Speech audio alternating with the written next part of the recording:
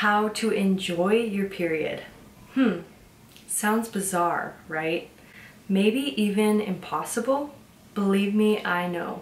But I've come to the most beautiful point in my journey as a woman where I genuinely enjoy bleeding. I believe every female has a fundamental right to enjoy her period. And that might offend you, and that's totally okay. But maybe instead of feeling offended, try feeling curious. Because today I'm going to share with you my five best tips to actually enjoy your period. My name is Gabrielle, and welcome to Rosie Moons.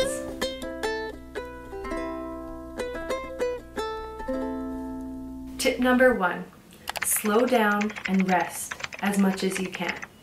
If you're feeling the need to drink a bunch of coffee while on your period to keep up with your life's demands, maybe you should just slow down.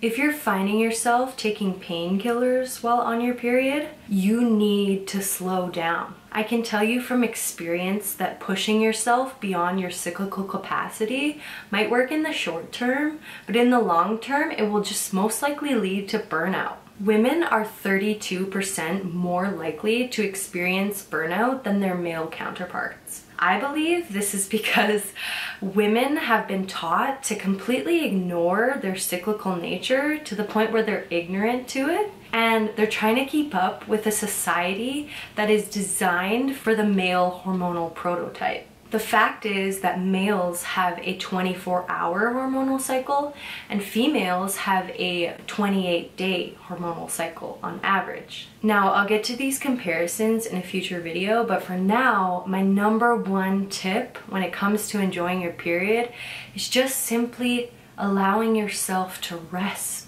take a day or two off if you can while you're bleeding. I know that's not totally accessible for everyone, but if you can just take some time off, even if it's half a day, do it. You will not regret it. Rest is absolutely essential during this phase of your menstrual cycle. The menstrual cycle is actually a microcosmic reflection, an expression of the seasons of nature. It is only in the rest of winter that the abundance of summer can truly come into fruition, right? And whether or not you believe yourself to be a part of nature, you are. And the fact is, there are just so many things that can be put on the back burner while you take care of yourself and rest. And that includes your job, that includes work. Women can do everything while bleeding. Anything you can possibly imagine, but that doesn't mean we should.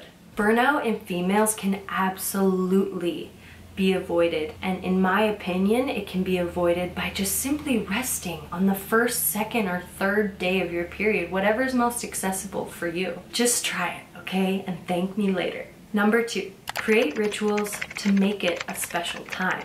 Activities such as painting with my period blood, using it as a face mask, giving it back to the earth, or watering it to my plants. These practices have allowed me to actually commune with my blood, to have a relationship with it, instead of just following the cultural norm of being as discreet as possible, disposing of it as quickly as possible, washing my hands clean of it because it's such a dirty thing. No, it's so far from that. It's so much more than that. Women bleed for an average of 10 whole years of their life in total. That's 3,650 days of bleeding in their life, in their menstrual lifetime. In my opinion, not having a relationship with your blood is almost completely insane creating opportunities to explore, you know, the color of your blood, the texture, the scent, the viscosity, etc. is crucial to enjoying your period. Not to mention that menstruation is the sixth vital sign in the female body, which means these characteristics of our menstrual blood can actually identify and indicate certain attributes of our health and well-being. Number three, explore period products to find the most supportive option for you and your life. When I tried a menstrual cup for the first time, I literally never used a tampon ever again. It was that much of a game changer. I also love the idea of not producing so much waste because of my period. When using disposable menstrual products, the average female will use and dispose of between 5,000 to 15,000 pads and tampons in their menstrual lifetime. Pads are estimated to take about 500 to 800 years to biodegrade. Most of these products packaging is made from plastic, which doesn't even fully biodegrade at all. Nowadays, there are so many awesome products on the market that make menstruating so simple and easy. And our predecessors, our female ancestors that bled before us, they would literally be jealous of the menstrual care products we have access to. And for me, this includes menstrual cups, like I mentioned earlier, reusable period underwear, reusable pads that you can just clip into your underwear, menstrual discs. Oh my God, I tried a menstrual disc a couple months ago and it was awesome. There are times where disposable menstrual products are obviously necessary and if you're going to use them, just be sure that they're organic cotton. The pesticides and chemicals such as bleach that are in conventional period products are not supposed to be anywhere near your vagina or labia. They actually may be contributing to the reoccurring bacterial vaginosis and yeast infections that so many women experience. Try to find companies who actually care about your vaginal and overall health and well-being instead of those that sacrifice those values for greater profit. With 800 million people menstruating on a daily basis worldwide, it's no surprise that companies take advantage of this demand and create shitty products, let's be honest. Try your best to try out different options, choose wisely, do some research, watch some review videos on YouTube, and figure out what option works best for you and your lifestyle because it will be totally different from woman to woman. Tip number four, track your entire menstrual cycle, not just your period.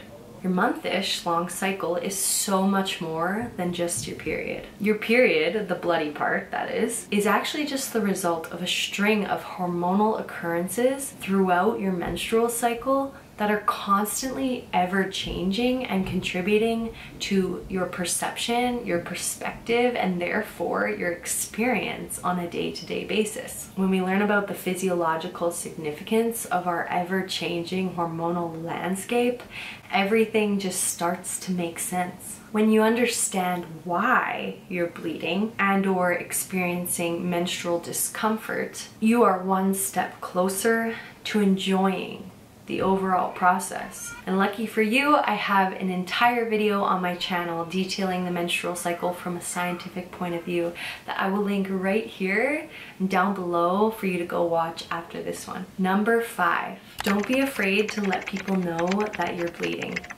The only reason why periods have a stigma about them in the first place is because they aren't openly talked about. If you need any support with your daily tasks during your period, such as your expectations at work, caring for yourself or your children, cooking and cleaning, just let people know. And don't be afraid to tell them why you need their support. Most people in their right minds will totally understand and be willing to support you, especially those that love you. The more open we are about our periods, the less taboo they become. We don't have to pretend like we don't bleed for 10 years in our lifetime. Just be kind and open about it though, because I have learned from experience, I've learned the hard way that, you know, aggressively asking for support because you're on your period doesn't usually go over well and it probably actually just won't help at all. So just try to be kind